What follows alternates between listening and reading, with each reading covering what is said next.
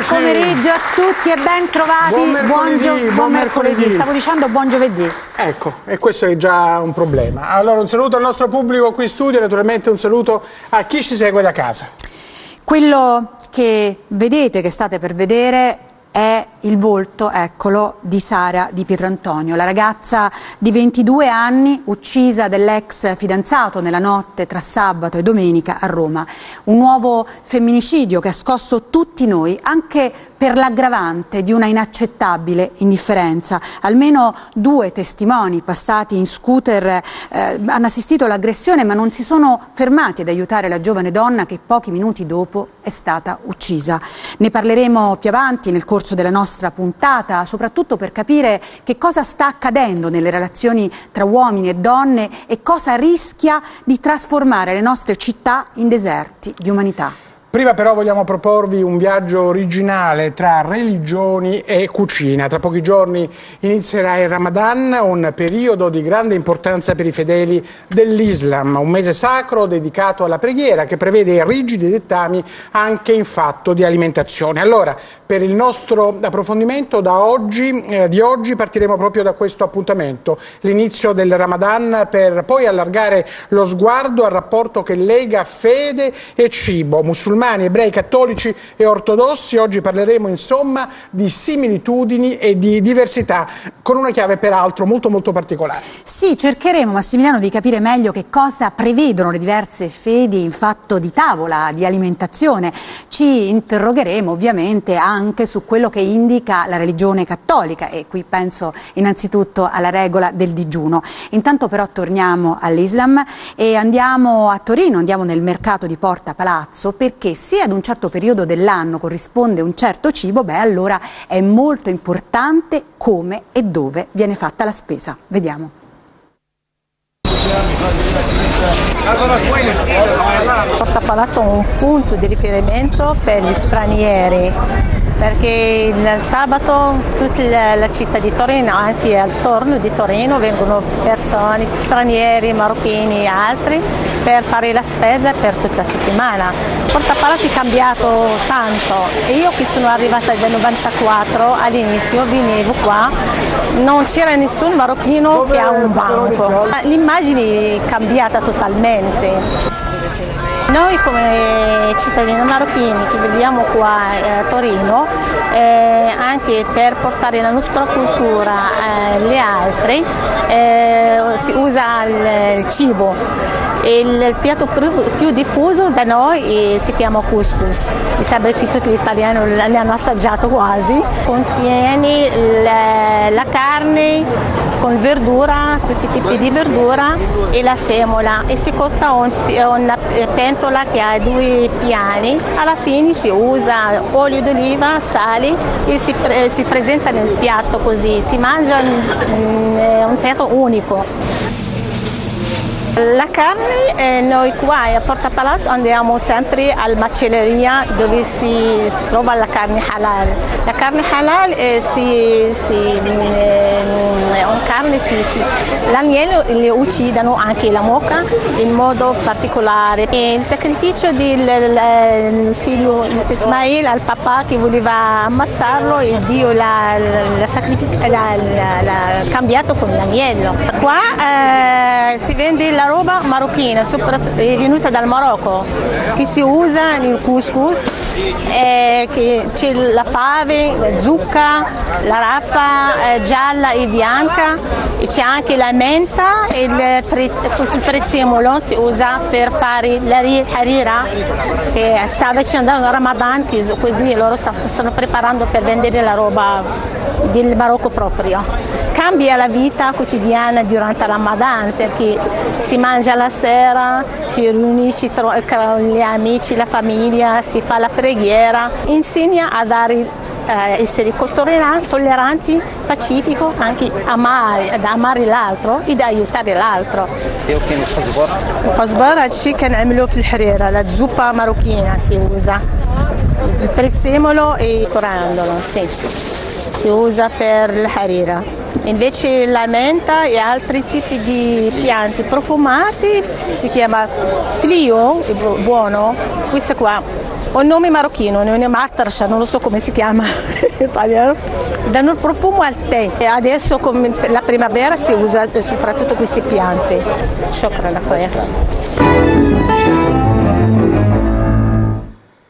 Shukran Ezzedin Ezir, bentornato, è eh? il primo ospite che svegliamo qui alla tavolo di Siamo Noi. Lui è eh, imam di Firenze, presidente dell'Unione delle Comunità Islamiche eh, d'Italia. Oggi è stato ospite qui in momenti molto più difficili. Eh? Oggi invece avrà un compito importante, quello di accompagnarci in questo viaggio alla scoperta della cucina musulmana. Insomma, vogliamo anche noi capire qualcosa di più delle tradizioni eh, che legano appunto la cucina alla religione musulmana. Eh, le chiederò oh, di entrare nel dettaglio tra pochissimo. Eh, però vorrei approfittare della sua presenza per chiedere qualcosina sul Ramadan. Innanzitutto, quando inizia, quanto dura, eh, vorrei partire dalle basi perché poi ne sentiamo parlare ma forse ne sappiamo poco. Ramadan è realmente il nono mese del calendario islamico, un calendario lunare, perciò come noi vediamo ogni anno viene in anticipo 10 giorni mediamente perché luna, il mese lunare di 29 o 30 giorni. Quest'anno inizia il prossimo lunedì, il 6 giugno, il primo giorno di Ramadan, eh, noi abbiamo deciso di seguire il calendario secondo la, la matematica realmente e la visione eh, non solo visi la visibilità dell'occhio ma anche quella scientifica. Ci sono diverse scuole islamiche che non accettano questa visione, ancora devono aspettare fino a domenica sera per vedere la nascita di luna. Perciò aspettano fino a domenica sera, se vedono luna dichiarano che lunedì è il primo Ramadan, noi abbiamo seguito un'altra scuola, eh, quella che vede eh, senza vedere la, eh, la luna. Inizia il si inizia il 6 giugno. Per un mese? Per un mese sarebbe 29 o 30 giorni. Questo Ramadan per noi 30 giorni, perciò la fine di Ramadan, la, il primo giorno di festa sarebbe il 6 luglio. E nell'ambito della giornata quanto dura il digiuno? Cioè quando si può bere qualcosa o mangiare qualcosa? È dura adesso. E questo mese è un mese un po' duro perché realmente eh, dal 3 del mattino fino alle 9 di sera è una giornata lunghissima. Perché il sole tramonta tardi in estate. Questo, in questo mese in particolare eh, tramonta troppo tardi, non si può mangiare, non si può bere. Eh, I primi giorni sono un po' difficili ma poi il corpo si abitua. Capito Gabriele? Allora, Infatti se... l'obiettivo del digiuno, credo, in tutte le fedi religiose non è la sofferenza, ma la disciplina, l'educazione all'autocontrollo. Allora, tanta carne al fuoco oggi ed è proprio il giorno giusto, insomma, per Insomma, usare questa espressione, di direi. Non, è proprio... non, è, non, per il Ramadan, ma per la puntata, come scoprirete di sicuro sì. Allora, prima di tornare alla cucina musulmana, facciamo un'altra tappa e apriamo il collegamento con la nostra Caterina Dall'Olio. Caterina, dove sei? Ciao Gabriella, ciao Massimiliano, ciao a chi ci sta seguendo da casa. Siamo al ristorante Yotvata, siamo in piazza Cenci, in pieno ghetto ebraico, proprio dietro l'angolo c'è la sinagoga di Roma. Ad ospitarci è Marco Sedde che è qui di fianco a me e la sua famiglia che oggi ci accompagnerà all'interno di questo bellissimo viaggio all'interno della cucina ebraica. Marco, qui davanti a noi, come vedete, Marco ci ha preparato tantissime cose e che adesso ci cosa andiamo a fare in questi collegamenti? Allora, partiamo dall'inizio. Eh, oltre ai carciofi e la giudia, andremo a fare gli aliciotti con l'indivia, che è un piatto tipico della tradizione ebraica, la concia di zucchine e poi infine la cassola di ricotta.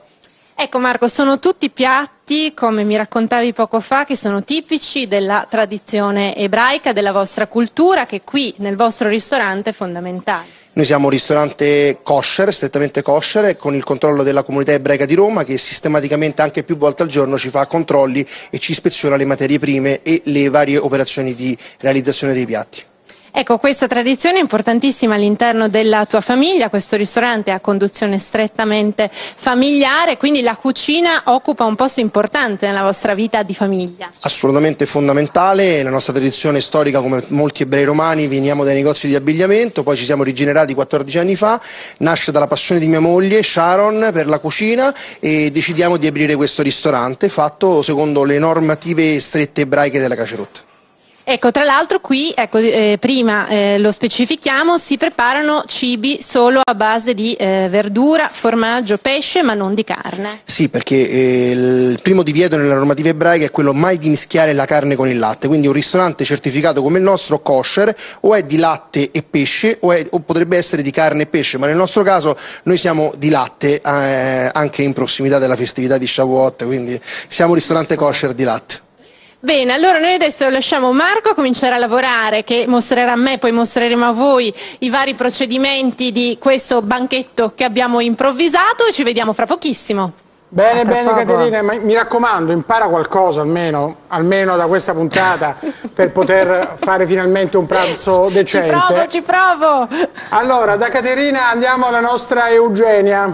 Sì, raccontateci allora anche voi del vostro rapporto con l'alimentazione e di quanto tenete a mente le regole della religione nello scegliere il cibo e le ricette più adatte. E a proposito di ricette, condividete con noi quelle tipiche della vostra famiglia, sia quelle di ieri ma anche quelle di oggi. E fateci sapere infine se pensate che negli anni si sia un po' persa questa attenzione alle indicazioni religiose sul cibo e sulla cucina. Potete farci sapere tutto questo chiamandoci all'822 88 3896 e lasciandoci un messaggio in segreteria oppure potete scriverci siamo noi chiocciola tv2000.it potete mandarci un tweet chiocciola siamo noi tv2000 o se volete c'è anche la nostra bacheca di Facebook pronta anche ad accogliere le foto dei vostri piatti preferiti. Grazie Eugenia. Abbiamo appena cominciato, però insomma, iniziando ad ascoltare i precetti alimentari di ebrei, musulmani, insomma, ricordando anche alcune abitudini delle nostre nonne, la prima impressione è che in qualche modo tra i cattolici il legame tra festività religiose e alimentazione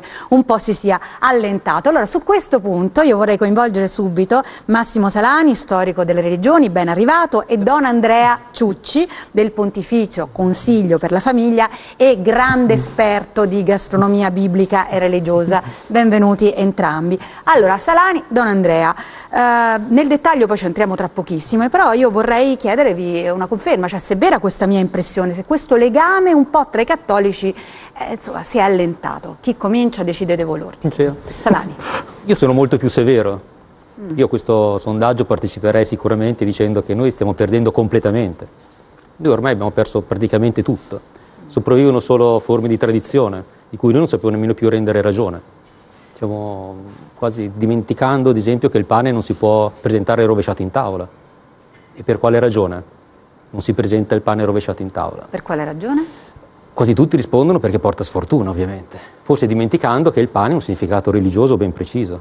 Rimanda a Gesù, rimanda al Nuovo Testamento, rimanda all'Antico Testamento. Tutta la Bibbia profuma di pane. Tutti noi stiamo dimenticando le regole basilari, Prima si è parlato giustamente del grande mese di Ramadan, ma dovremmo anche riscoprire i piatti della Quaresima. I cristiani per Quaresima quali piatti utilizzano? Il bianco mangiare, chi ormai se lo ricorda più, o chiamando in causa la tradizione kosher che ha ovviamente inevitabilmente legami che con quella cristiana, pensate alla cucina del quinto quarto e quindi tutto quello che noi consumiamo, che non sappiamo più consumare, che stiamo abbandonando c'è tutto un mondo particolare. La cucina del quinto, quinto quarto. Il quinto quarto. Che cos'è questo quinto quarto? Quell'alimentazione della... che ci permette di recuperare e soprattutto di mettere, di mettere, in evidenza quanto è importante le parole di Papa Francesco sullo scarto alimentare. Scarto. Del maiale non si butta via nulla, giustamente. In verità un ospite qui il quinto ma quarto ce l'ha portato. Ma, ma dobbiamo veramente viverlo fino in fondo questo. Pensate al fatto che noi non preghiamo più prima dei pasti. Ecco, Don Andrea, qui mi ha dato un po' il là Salani perché eh, le chiedo intanto se è d'accordo, è stato abbastanza severo, eh? Eh, ma se tutto questo, anche appunto non pregare prima dei pasti, ci riporta ad un mondo in cui viviamo che in realtà eh, sta perdendo spiritualità, Può darsi, ma non mi interessa più di tanto. Mm. Eh, preferisco guardare quello che mi aspetta piuttosto mm. che quello che, che c'era prima. E certo io credo nel cuore, nella testa di molti ci sia una domanda e una domanda grande di senso.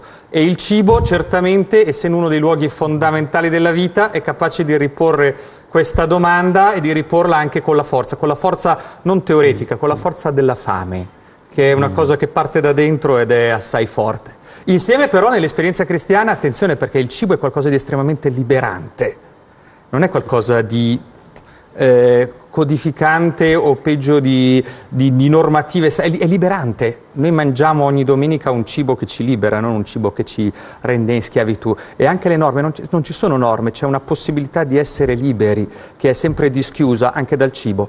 Dopodiché quello che abbiamo è certo, noi viviamo in un contesto che non è più cristiano, lo è, si dice di post-cristianesimo, a tal punto che le, le, le, i numeri ci dicono che per esempio gran parte anche di quelli che in qualche modo riconoscono un riferimento all'esperienza cristiana non partecipano al pranzo per eccellenza dell'esperienza cristiana che è la messa domenicale. Ma il problema non è legato al cibo, è legato a un'appartenenza significativa a un'esperienza religiosa. E cosa succede nelle altre religioni? Coinvolgo nella nostra discussione anche il rabbino della comunità ebraica di Roma, Jacob Di Segni, benvenuto, e padre Gheorghe Militaru della Chiesa Ortodossa Rumena d'Italia, benvenuto anche a lei. E partire proprio da, da voi, no? rabbino e padre Gheorghe, perché prima... Mh, mm, vorrei chiedere, prima di entrare nello specifico, eh, eh, nello specifico, vorrei chiedere una valutazione, definiamola così, preliminare della vostra religione. Eh, vi chiedo, e partirei da disegni, se eh, ritenete la tavola un mezzo per ascoltare e mettere in pratica le indicazioni del credo.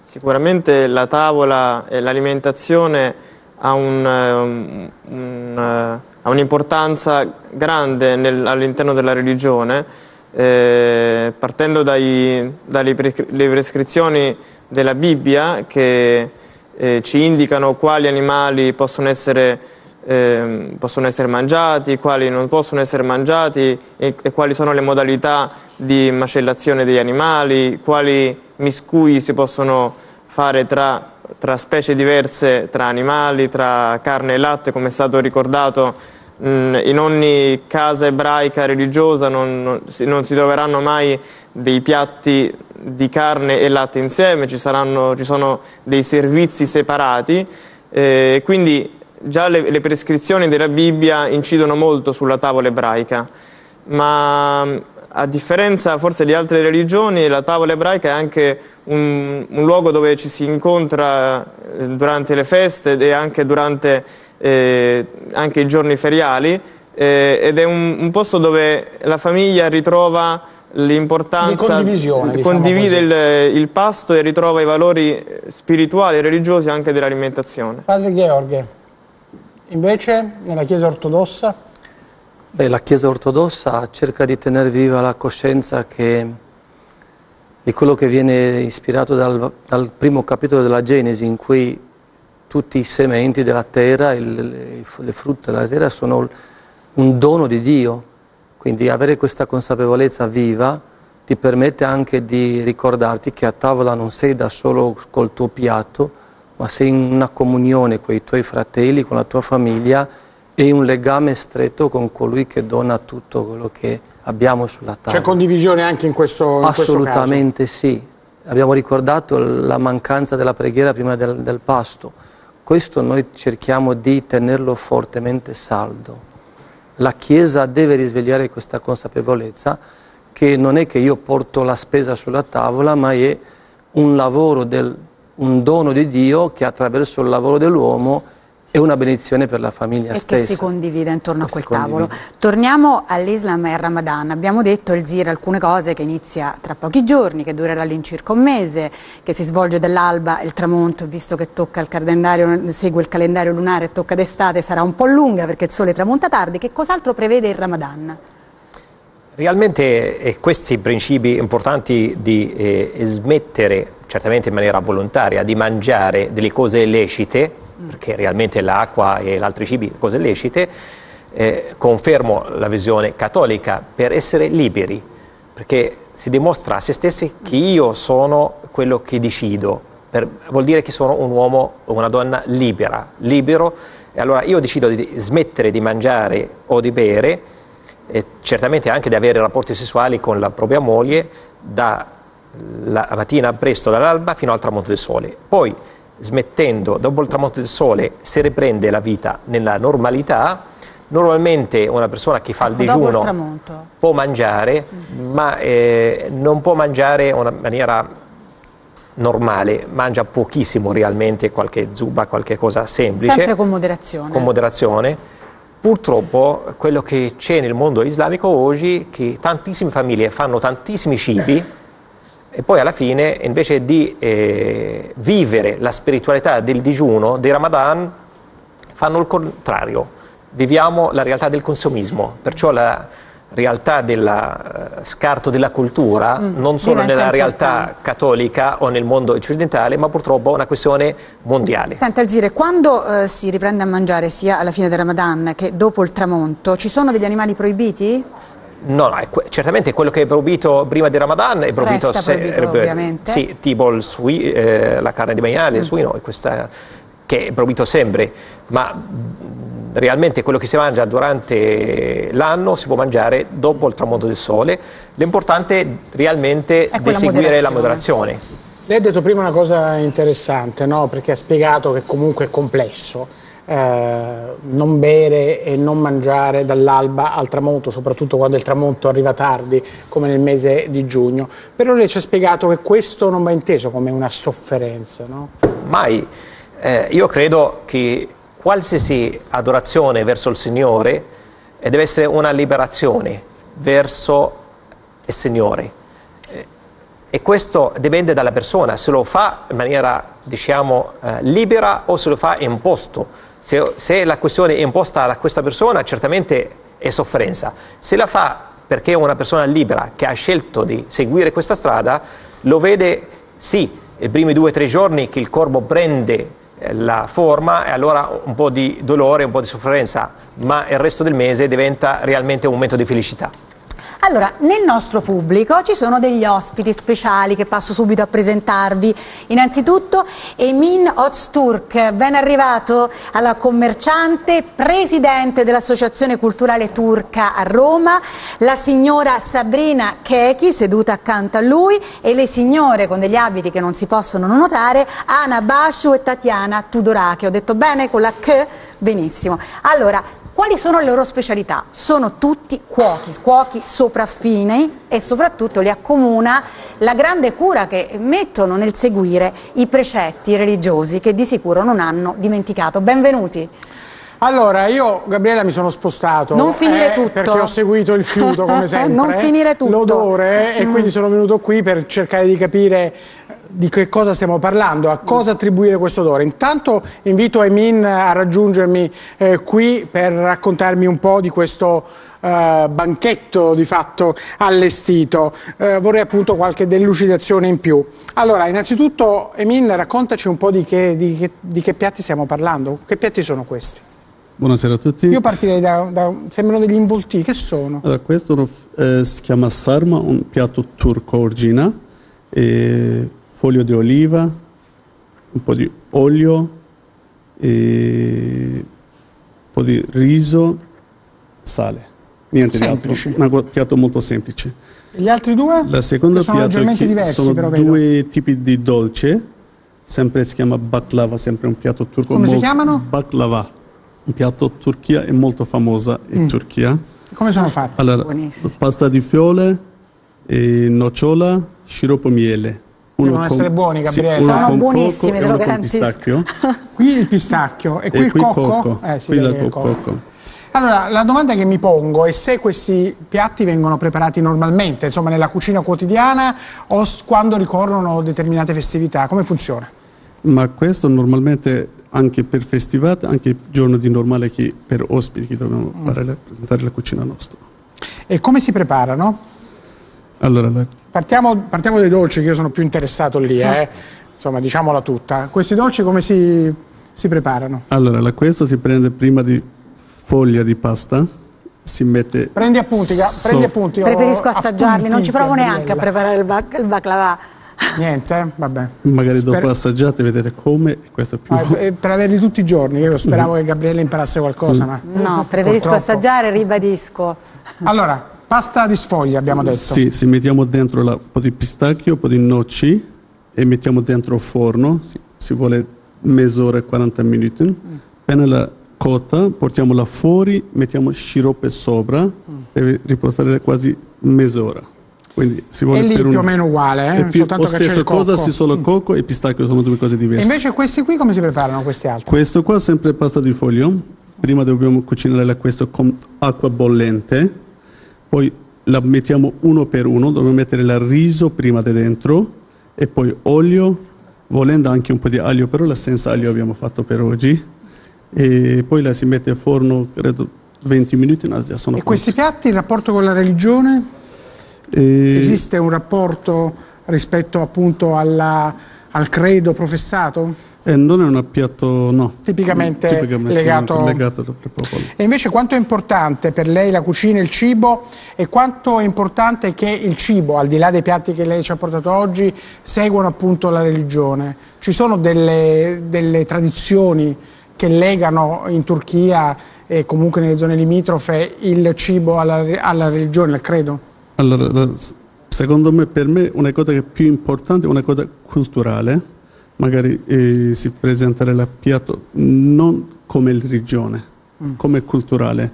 Esempio, prossimo mese ci abbiamo un'intervista anche per conoscere la cucina italiana in Turchia, un TV. E- E insomma, questo E è questo è importante. importante. Credo che i suoi amici apprezzeranno molto di essere invitati a casa sua a cena o a pranzo. eh. questo sicuramente sì. Dovesse scappare un invito anche per me, la Facondo lasciamola, Lo lasciamola sapevo, sola. eh? non, è- non mi sorprende.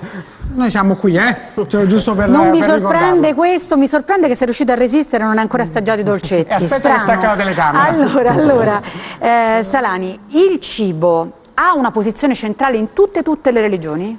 in tutte, in tutte le religioni. Non si conoscono religioni che di fatto non indichino un percorso dove l'alimentazione in qualche modo possa contribuire alla crescita spirituale di una persona.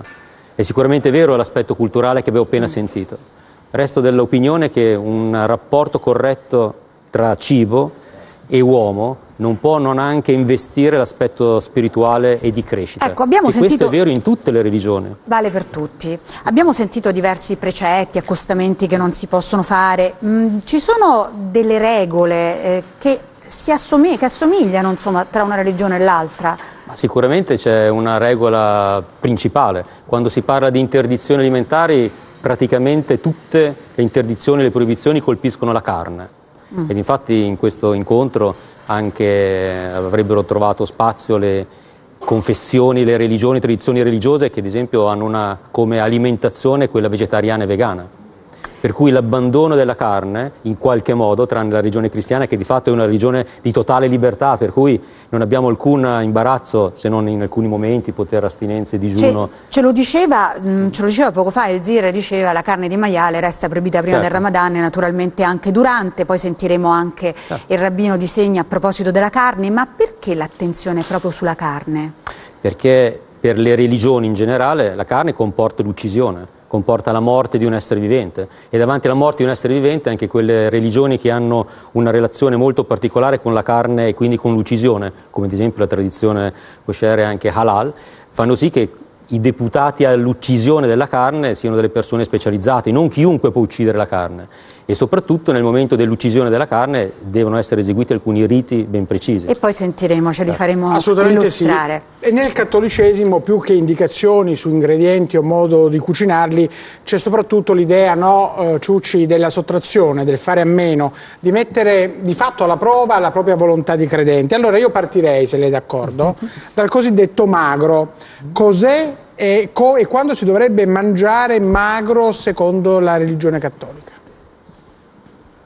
Nella religione cattolica c'è una regola sola, che è quella che dice San Paolo, che dice che si può fare tutto e che non c'è niente di impuro, ma per la carità del fratello io sono anche disposto a non mangiare una cosa che di per sé è assolutamente buona e lecita. L'unica legge che c'è nell'esperienza cristiana è la legge dell'amore tra i fratelli e con Dio. Questa è la prima cosa. E la stessa cosa vale per l'esperienza del digiuno, che è Ecco, certamente il un'esperienza impa- per, per cui uno si costruisce come uomo libero, ma neanche semplice, solamente ri- richiuso su se stesso. È la parola di Gesù che dice, ricordati che non di solo pane vive l'uomo, no? ma di ogni parola che esce dalla bocca di Dio e riconoscere che tu non basti a te stesso, che in qualche modo non sei capace di risolverti l'esistenza, che quella fame lì non è semplicemente un qualcosa da soddisfare il più velocemente possibile, ma dice un'apertura grande e profonda.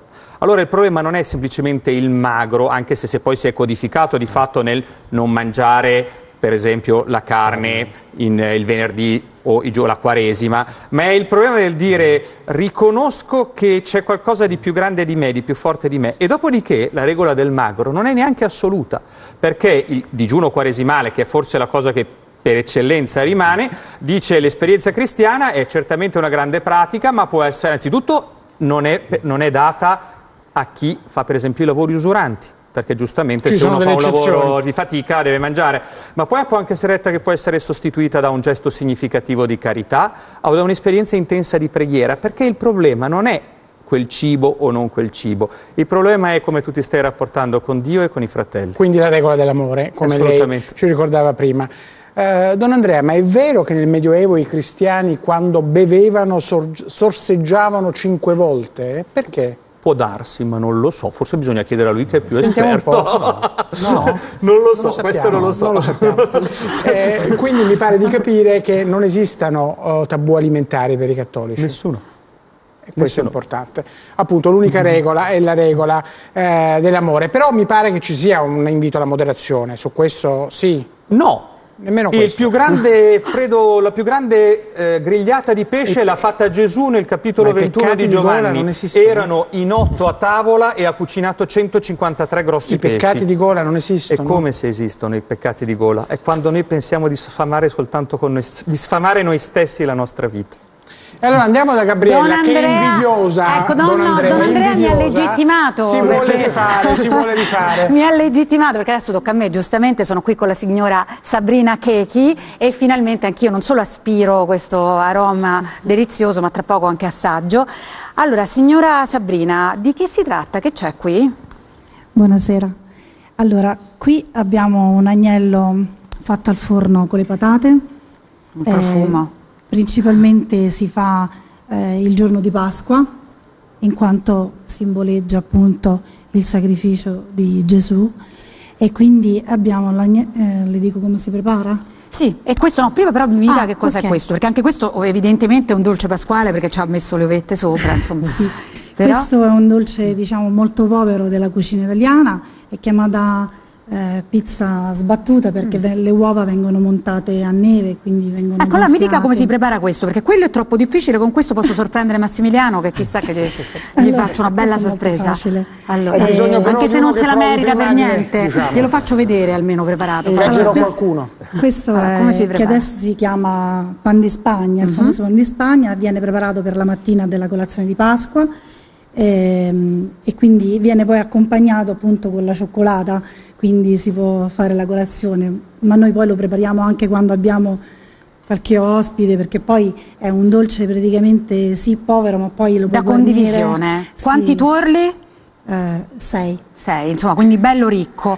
Allora, lei ha preparato questi due piatti. eh, la domanda che mi viene da farle, sapendo perché ho spulciato nella sua scheda che lei ha tre figli, è impegnatissima in parrocchia, è quando li prepara, dove trova il tempo, l'energia per farlo e poi per quali Questa è una occasioni? domanda interessata, eh? Per quali occasioni, sì. Allora, Forse sì.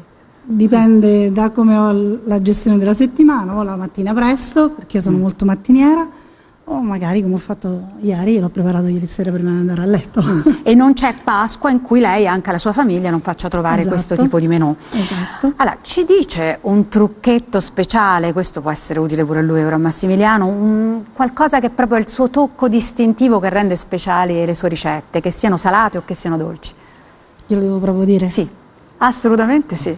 Il cuore e l'amore. Splendido. Hai visto che Don Andrea aveva ragione? Splendido. È la prova che Don Andrea aveva ragione. Chiedo a padre Gheorghi e a Disegni se i piatti che abbiamo visto finora hanno a che vedere anche con eh, i- le vostre religioni, cioè il- la vostra vita quotidiana. Disegni? Profondo. Ehm, Poco. Sicuramente.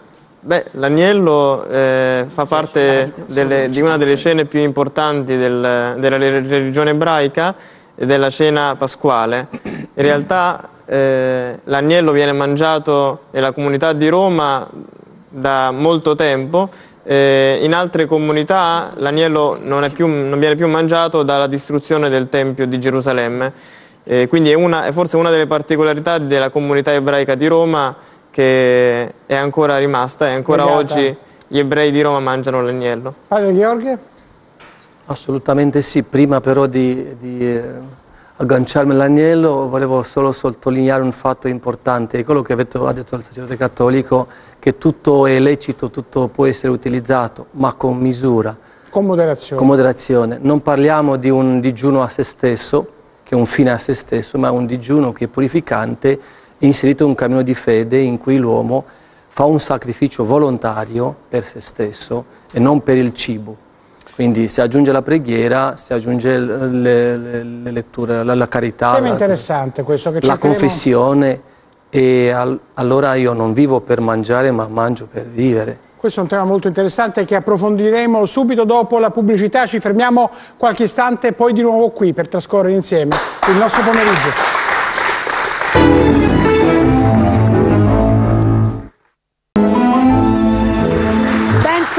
A Siamo Noi. Che Oggi viaggio oggi, è eh? un viaggio, una puntata assai profumata dedicata al cibo e alla religione. Allora adesso torniamo subito dalla nostra Caterina perché si trova eh, in compagnia di alcuni ospiti e per capire a che punto si trovano ora con la preparazione di piatti ebraici. A te Caterina. E soprattutto vediamo se ha capito qualcosa, eh.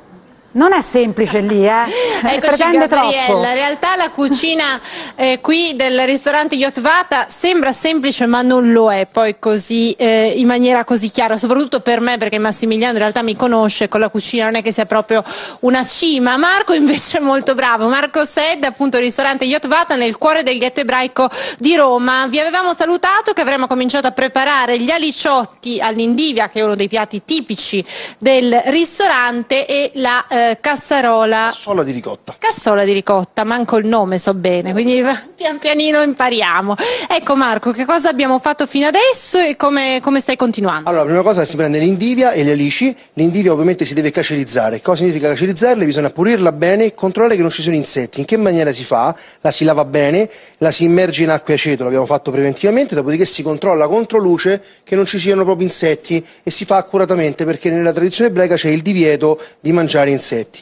Questo Marco si applica a tutte le verdure, giusto? Tutte le verdure a foglia larga si applica per l'indivia, per la cicoria, si applica per i carciofi. I carciofi vanno capati, puliti, vanno messi in acqua e aceto, dopodiché si controllano tra le foglie che non ci siano insetti. Ed è proprio un precetto della regione ebraica. Di- nasce dal divieto di cibare gli, gli insetti e quindi i nostri maestri ci, ci- ci spiegano che bisogna fare- trattare le verdure in questa maniera, con acqua aceto e controllarle. Procediamo con, le, con gli liciotti con l'indivia, si fa uno strato di, perché poi la parte culinaria è importante, si fa uno strato di, di indivia, si, sale- si mette sale, pepe, alici, dopodiché si prende un altro strato, si mette sempre l'indivia così, ok? Un goccettino d'olio. Il piatto è molto banale perché nella tradizione ebraica, nella cucina ebraica romana, i piatti sono di una semplicità assurda. E devo dire molto salutari perché c'è pochissimo condimento. Assolutamente sì, la cucina ebraica, o meglio quella kosher, oggi è anche legata a un, a un discorso di salubrità, quindi è molto apprezzata dal punto di vista della, della- della salute, proprio perché c'è questo divieto di mangiare eh, cibi grassi, animali che non siano controllati. Ma anche poco sale ho visto che hai messo. Poco sale perché fa sempre bene ma- mangiare con poco sale, problemi di pressione. Quindi, quindi si fanno questi doppi strati, così dopodiché si mette in forno, si mette un altro pochino di olio, molto semplice, così, si mette in forno 180 gradi, una mezz'oretta e, e esce fuori il tortino poi di aliciotti poi vi farò vedere com'è il, il risultato finale. E questo intanto noi le andiamo a mettere in forno. Torniamo invece alla nostra ricotta, ricordiamo che il ristorante Yotvata, eh, qui non si trova carne, ci sono appunto prodotti a base di latte e tra l'altro è proprio della storia del kibbutz Yotvata, mi raccontavi prima. Sì, il nome è preso da un kibbutz che è sorge sull'oasi di Yotvata. Yotvata è una tappa che- dove gli ebrei quando uscirono dall'Egitto si fermarono a Yotvata in quest'oasi prima di entrare in terra di Israele. Noi abbiamo preso questo nome perché come in in Israele in- nel kibbutz di Yotvata si fanno latticini, noi facciamo latticini e formaggi a nostra produzione e li vendiamo anche, li mandiamo anche in tutto il mondo, facciamo assaggiare quella che è la cucina e la tipicità dei, dei formaggi tipici italiani ma fatti con lo standard kosher, che significa che noi andiamo a fare il controllo del latte sin dalla mungitura, non usiamo mai caglio animale ma solo caglio vegetale o microbico e, e finché il prodotto non è casificato e finito non lo perdiamo mai di vista. E questo è molto importante, soprattutto in un piatto del genere che è a base di eh, ricotta. Marco, adesso hai aggiunto uova e zucchero. Allora, si prende la ricotta, eh, può essere o vaccina o, o di pecora, eh, si mette zucchero, si mischia, ok? Dopodiché si aggiungono delle uova. Allora, è molto importante dal punto di vista ebraico il controllo delle uova. Gli ebrei non possono mangiare assolutamente sangue, nella carne ma anche nelle, nelle uova. In che maniera si controlla?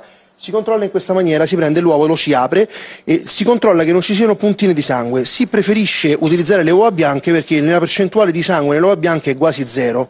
Okay? Si aggiungono le uova in questa maniera. La cassola è assolutamente banale come dolce.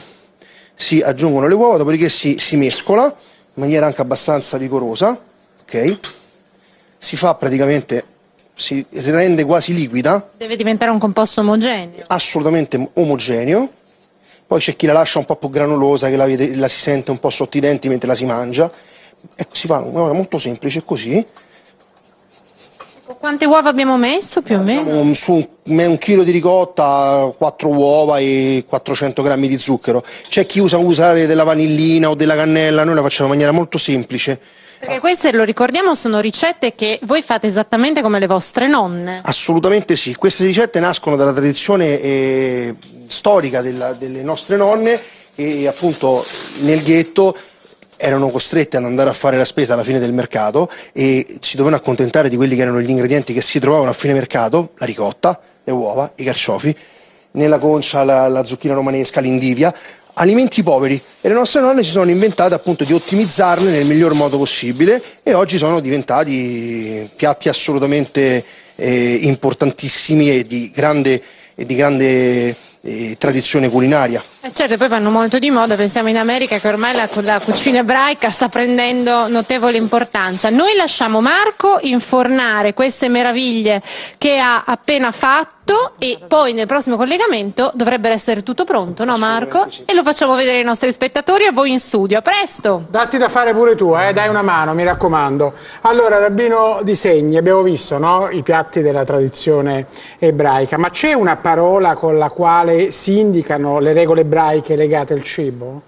Abbiamo sentito la, la parola kasher che letteralmente vuol dire qualcosa di buono, di adatto, che è conforme alle regole ebraiche. E dalla parola kasher deriva la- il sostantivo kashrut kasherut che indica appunto la normativa alimentare ebraica che regola tutti quanti i, i cibi, da, da quello animale a quello a- a- al latte, al vino, tut- tut- tutto quello che può essere consumato secondo la religione ebraica. Esiste il zir, una parola analoga che esprime lo stesso concetto anche nell'Islam. Prima ce l'aveva fatta sentire Salani, mi sembra un Eh, momento, Don halal. Andrea. Halal, Halal. che significa che esattamente? significa realmente lecito, buono da fare o da consumare. E che, che cosa indica? Quali sono i cibi halal? Cibo halal realmente tutto fuori che eh, carne di maiale o una, cosa- una carne di un animale morto o bevande alcoliche. Diciamo questi che non si possono bere bevande alcoliche o non si possono mangiare cose morte o eh, carne di maiale o di suino. Per gli ortodossi invece esiste una parola?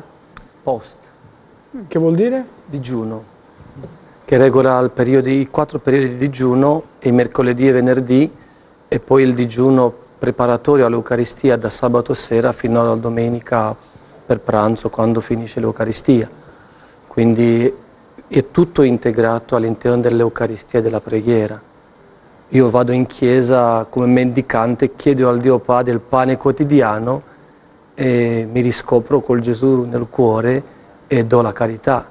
Quindi mi piacerebbe che si facesse un- una tavola teologica sulla preghiera, però abbiamo parlato un'ora e mezza sul cibo, ma questo cibo non è fine a se stesso. L'uomo deve curarsi non dalla carne o dal latte o dal formaggio, dal pesce, ma dalle tentazioni della carne, dal peccato che è attraverso una vita sregolata, che significa anche una vita sregolata nel mangiare.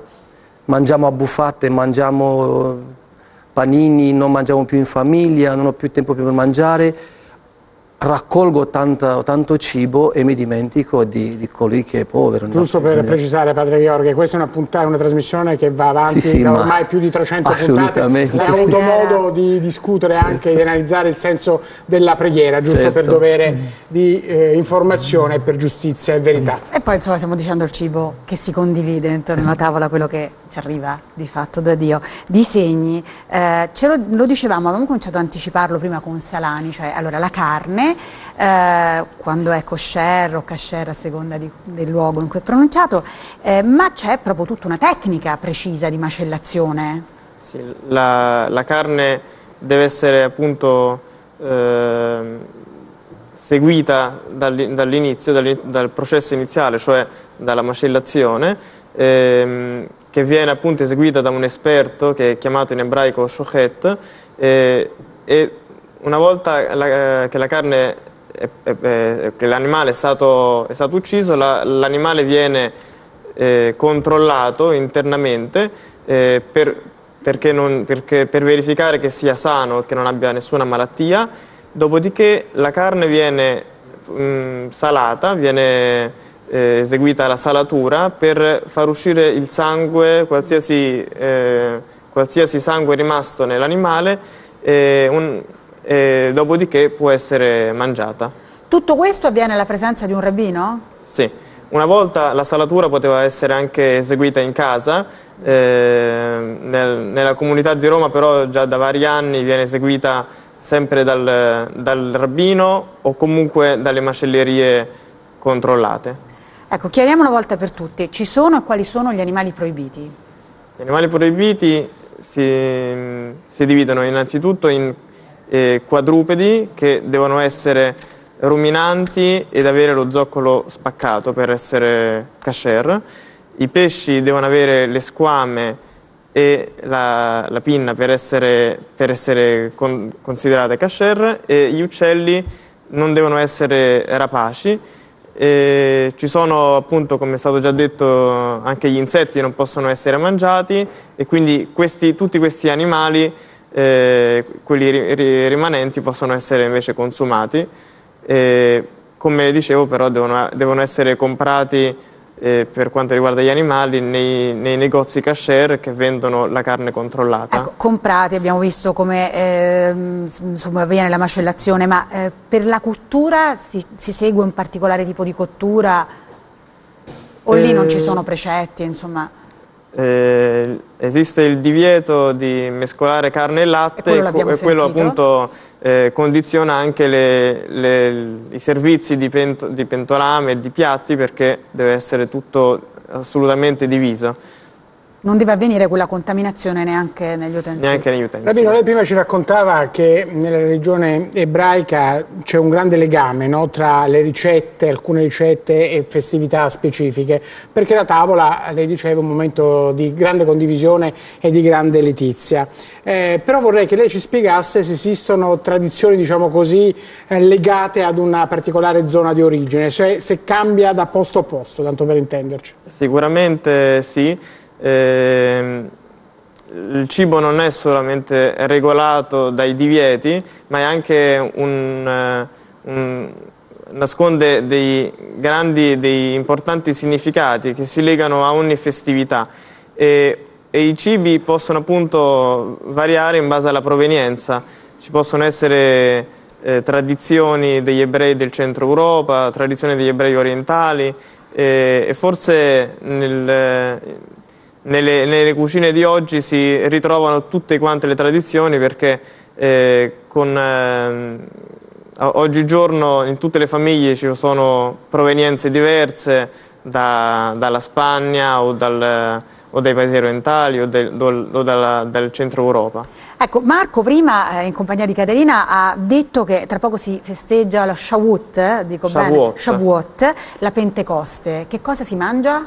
Uh, durante Shavuot si usa mangiare eh, latticini, quindi dolci preparati con latte o con formaggio e eh, il miele anche, perché il latte e il miele sono, sono paragonati nei testi nella Bibbia alla Torah, alla legge. E quindi eh, come dicevo si, mangiando il latte e il miele si riscopre la simbologia proprio che è nascosta nei, nei, nel cibo. E poi ci sono dei cibi che si legano al lutto invece. Il, eh, il, il lutto per eccellenza che viene ricordato nella regione ebraica è il lutto nazionale della distruzione del Tempio di Gerusalemme. E questo lutto viene ricordato appunto con vari digiuni durante l'anno e eh, in particolare con il digiuno del 9 di Av che cade generalmente in agosto. Eh, padre Gheorghe, lei prima ci raccontava, appunto, prendendo spunto dalla parola, no?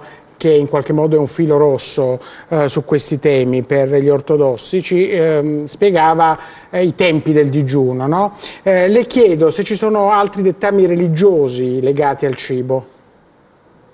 No, durante il digiuno non, man- non no, si... anche al di là del digiuno. La preghiera, la- l'astinenza e l'atto di carità Però per voi diciamo, il cibo è legato a dei tempi liturgici in maniera molto forte, il Natale, la Pasqua, un trionfo di sì. cibi. Ci dica un po' che succede a Natale? Natale si imbandisce la tavola con tutto quello che Dio ci ha donato sulla E terra. ci sono dei piatti tipici? Sì, sono molto simili alla tradizione italiana, tipo il maiale, il pesce, l'agnello a Pasqua, le uova a Pasqua, la colomba oh, tipica per Pasqua, solo che sono fatti in modo diversa, cioè diversi, son- hanno forme diverse e contenuti un po' diversi, ma ehm, esprimono quella gioia che il fedele vive nelle feste. Dopo un digiuno di 40 giorni in cui ehm, ha passato un cammino di preparazione, di purificazione, lui si avvicina non soltanto a tavola, ma si avvicina prima alla comunione e questo lo esprime anche nel condividere il pasto con altre famiglie bisognose che invita a tavola. Si comincia a cucinare molto presto, le donne della famiglia, oppure una- tutti quanti collaborano? Beh, devono stare attenti a cucinare qual- molto prima perché eh, ovviamente Quantità. non solo mangiare ma anche Eh, respirare dei esatto. vapori di Eh, carne esatto. eh, è Ha sentito proibito. prima il rabbino, ci spiegava ehm, che esistono delle tradizioni locali che cambiano eh, Sì. da un punto di vista geografico e così anche dappertutto. Quindi il- l'influsso culturale sul dato di fede ovviamente porta un, un cambiamento. Sì. Ma ingredienti proibiti non ce ne sono, mi pare di capire. No, non ce ne sono. Mm. Allora, io vorrei coinvolgere, dopo questo viaggio che abbiamo effettuato, eh, abbiamo analizzato bene, Questi, questi punti, mm, vorrei chiedere a Salani, perché mi pare di non aver mai sentito rispetto a restrizioni, eh, rispetto a regole da seguire, mai si parla di frutta e verdura. Questo mi pare che sia una costante, no? Sì, con, con alcune eccezioni, rare eccezioni, ma è una costante. Sì. Nelle, in alcune tradizioni delle religioni orientali, come quelle induiste, ad esempio, c'è un'attenzione particolare, mh, un'attenzione, ecco, diciamo veramente solo attenzione nell'evitare certi prodotti che nascono nel cuore della terra. Cipolle, cipolle, aglio, sono religioni solari e quindi tutto quello che in qualche modo non risente direttamente o indirettamente del, del sole, ecco questo viene in qualche modo punito. È- si tratta di una concezione che va dal più basso verso l'alto. Per cui più le caste, come erroneamente le intendiamo solo per intenderci, sono anche disposte a riconoscere un'alimentazione carnea, più si sale verso un concetto più elevato e spirituale, si arriva all'alimentazione vegetariana e vegana. E tra i vegani addirittura anche un aspetto dove metti in evidenza Io proprio lì volevo arrivare. Secondo lei, se io mai dovessi Mm. organizzare, diciamo così, una cena interreligiosa, Mhm. se applico un menù vegetariano metto tutti d'accordo? Sì, non mi deve invitare, però... Ah. sì.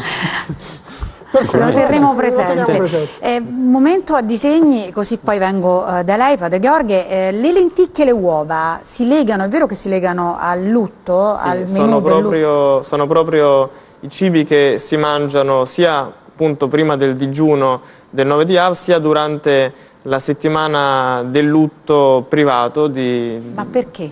perché sia l'uovo che le lenticchie innanzitutto hanno una forma circolare, quindi ci ricordano che eh, la vita è circolare e, e anche la morte può capitare a tutte quante le persone, a tutti quanti gli uomini, ma anche la- le lenticchie e le uova non hanno nessuna apertura e quindi ci ricordano che anche le persone che sono in lutto non possono parlare, non hanno, non- non hanno la, la possibilità di salutarsi e di intrattenersi in, eh, in discorsi non Questa è una importanti. cosa che io per esempio non, non conoscevo, non sapevo. Padre Gorghe, esiste qualcosa di analogo anche nelle tradizioni ortodosse? Ci sono dei, proprio, eh, degli alimenti o una particolare tradizione che si lega all'esperienza del lutto?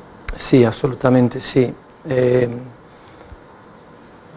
per il lutto e poi per tutto le- il periodo di un anno successivo al lutto le- la famiglia prepara dei pranzi in ricordo del, del defunto, della defunta.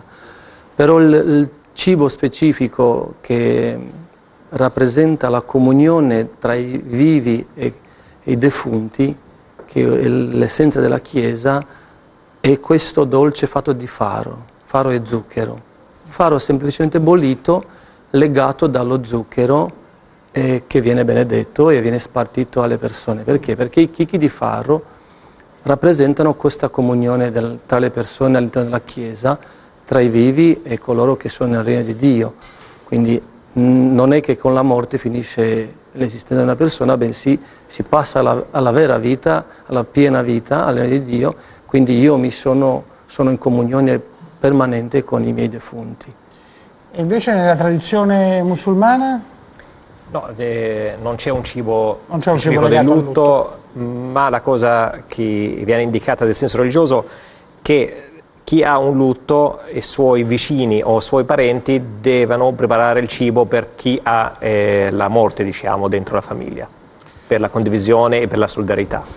Allora, Don Andrea, ecco, mh, s- torniamo qui, torniamo, lei prima ci ha detto no, io preferisco vedere quello che c'è, però sentendo tutto quello che ho sentito intorno a questo tavolo, torno a dire, mi perdoni, che mi sembra che noi un po' questo legame l'abbiamo allentato tra tradizione.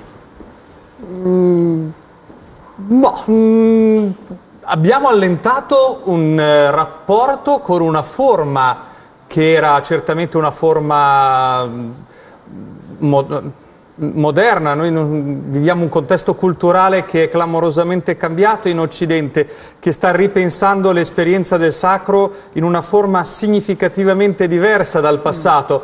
Mm, C'è una rottura? Sì, credo che sicuramente c'è una rottura, c'è una rottura rispetto non soltanto alla comprensione del cibo, ma più complessivamente alla comprensione dell'esperienza umana. Però faccio fatica a ritenerlo o a dichiararlo anzitutto come una perdita. È un mutamento, È un cambiamento, ci dice. Come ogni cambiamento certamente sì, c'è il rischio di perdere qualcosa, ma c'è anche lo schiudersi di, di di nuove qualcos'altro. eh. possibilità, di uno sguardo differente. Quello che accomuna un po' tutte le esperienze che abbiamo cercato di descrivere e di raccontare è che il cibo viene vissuto, e ce lo ricordava Padre Gheorghe continuamente, come grazia di Dio e come tale va insomma condiviso. Mm, sì. Tutte religioni mi pare concordiamo che Oggi mi diverto. Eh, certo, nel senso che si riconosce appunto che, che l'esperienza del cibo è un qualcosa che mi mette in relazione. Mi mette in relazione con gli altri, mi colpiva mentre prima lui parlava, pensavo a un'esperienza, io sono di Milano, eh, fino a qualche tempo fa intorno a Milano, intorno ai cimiteri di Milano c'era una marea di trattorie perché, perché non si poteva far, da man- far mangiare da solo un- una persona che aveva un lutto. Il cibo introduce istantaneamente la tavola e quindi le relazioni. no? E non soltanto la relazione tra le persone, ma le relazioni con tutti i fratelli, con i più poveri, perché qui si parla di ricchezza, abbondanza e di privazione, e certamente anche con il mistero di Dio. Anche se, ripeto, proprio in questo tempo noi stiamo vedendo come stiamo facendo per certi versi fatica e riscoprendo la complessità no, di, di- di parlare di Dio oggi. Non, non c'è così semplice parlare di Senta, Dio. don Andrea. Però, scusi? Sì. È vero che noi abbiamo continuamente le esperienze, e certamente l'esperienza del cibo è una di queste, che ci, continuamente ci riportano a un qualcos'altro che si apre, si rivela e si schiude. Questo sì. perché però si è smesso di ringraziare in tavola quando viene servito il cibo Dio e pregare per il, Il cibo? problema è che probabilmente si è smesso di pregare tout court e quindi anche a tavola. Paradossalmente in realtà forse l'unico luogo in cui ancora un certo numero significativo di famiglie prega è esattamente a tavola. Non si prega in realtà per esempio più alla mattina, non si prega più alla sera. E forse è rimasta esattamente invece la, la- la preghiera, preghiera della almeno in alcuni. Però il problema non è il- la Padre benedizione del ha cibo. sollevato un sopracciglio. Eh, è, è il fatto che non si prega più punto, non che non si prega più a tavola. Però, però Allora io, mh, sì, Padre Gheorghe. l'educazione spirituale, eh, se, se noi la, la togliamo, vuol dire che non la riteniamo necessaria, invece non è proprio così. Ed è importante. Assolutamente sì, il ricordare- maestro per eccellenza del digiuno è Gesù stesso, i profeti e tutti quanti. Quindi se per, il- per un- delle semplici analisi vado dal dottore e mi chiede il digiuno, fra virgolette, non mangi, non bevi, non fumi, e accostarsi all'Eucaristia ci serve un po' di, sacrificio personale volentieri, libero, consapevole, non imposto. Padre Gorghi è stato chiarissimo, però parlando di tradizioni che si legano alla, alla fede, eh, mi sembra che Massimiliano si sia avvicinato a un No, tavolo volevo piuttosto innanzitutto ricco. ricordare che Massimiliano batte Gabriella 2 a 1 Eh, questo sì. mi pare Anche perché il tavolo lì segnarlo. è un po' troppo E piano, per, eh. per segnare il gol della vittoria, diciamola così, non ho badato a spese, eh, perché ho raddoppiato le persone qui al Non tavolo. hai ancora assaggiato Guarda niente. quanto cibo, quando mai hai avuto tutto Vero, questo vero, cibo? vero, in abbondanza. Allora, Anna Baciu e Tatiana Tudorache, grazie per Buonasera essere a con noi e per aver preparato questi piatti. Cosa ci avete portato? Eh, Tatiana? Eh, noi abbiamo portato un piatto che si fa, si usa a Natale, che è spezzatino di maiale, la polenta con le uova sopra si mangia insieme. Eh, questi sono i dolci specifici della Adesso nostra entre- zona. entreremo nel, nel dettaglio. E questo altro tipo di piatto che lo presenta mia Che collega. cos'è? Eh, questi sono vederlo? involtini, eh, finché per tradizione di vediamo, Natale... vero? Eh, proviamo, eh, proviamo a vedere se... Ah, eccolo qua, vedi? Quanto è bello. Che cos'è? Finché per tradizione da noi prima si ammazza il maiale, si mette in preparazione e poi quando è prima si preparano i involtini. Perché dentro c'è carne, eh, riso eh, con le verdure, cipolla, carota, è giusto, ognuno mette quello che gli piace. E È poi si fa bellissimo. pure il panettone. Giustamente sarà come panettone italiano, però c'ha forma Ha una diversa. forma e- leggermente diversa, leggermente eh, sì. diversa, giustamente. Io però ho una curiosità, prima di capire bene come, come avete preparato questi piatti. Voglio capire se voi, un- innanzitutto quanto tempo siete in Italia? Ana? Da 20 anni. 20 anni, Tatiana? 15. 15 anni Tatiana. Insomma, voi cucinate, nonostante siano passati tutti questi anni, solo cibo della vostra Sì, tradizione? perché, Cibi beh, italiani zero? No, anche cibi Eh, italiani, giustamente, però di più li prepariamo, ecco perché Padre Gheorghe ci ha imparato tante cose, ci ha fatto riunire in, in Italia e qui, giustamente quando ci riuniamo tutti in chiesa, noi f- facciamo le feste con preparazioni tutte specifiche E romene. allora io voglio capire se questi piatti che ci avete portato sono legati a qualche festività in particolare. Sì, di Natale, giustamente di Natale, perché da noi da- di Natale si ammazza il maiale, si prepara, poi si Mm. prepara tutta sta roba. Questa è la parte salata, mi pare di capire. Sì, Avete- questa è parte Tutte e due sì. l'avete preparato? Sì. Un po' per uno, eh? Un po' per Eh. uno, giustamente. Ma io sono interessato ai dolci, abbiate pazienza. Il panettone. No, io voglio Come sapere si- questi come sono fatti, sono troppo belli. Vabbè, questo è un tipo di impasto che si mette dentro la farina, eh, il burro, uova e si riempiono con, eh, con ehm, marmellata o quello che si boh, noci, questi sono riempiti. eh, Ma le fate tutte voi questo da sole? sì, sono le forme adatte eh, per eh, questi, questi dolci. Ma mica cucinate tutti i giorni così, se no io mi, tra- mi trasferisco, eh? No, no. Eh, sicuro? Quando ci avete voglia ci avvisate, quindi noi siamo pronti. Chi ride? Chi ride? Qua ridono un po' in studio, eh? Sono birboni. No, però veramente è un bel allestimento. E anche il panettone ha il suo perché.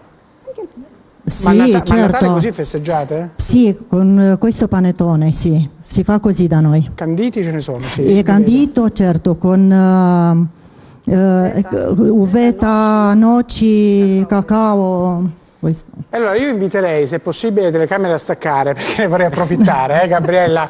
Così Visto- almeno mangi. Ecco, Vabbè, bisogna che- saper perdere, diciamo in questo caso. Ma hai perso abbiamo netto, perso perso. oggi. Vabbè, io so perdere.